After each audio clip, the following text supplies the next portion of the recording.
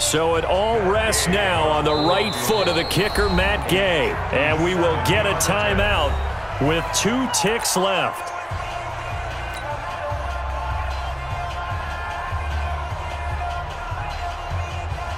So it all rests now on the right foot of the kicker, Matt Gay. This from long, very long range. Does he have the distance? He does. It's good.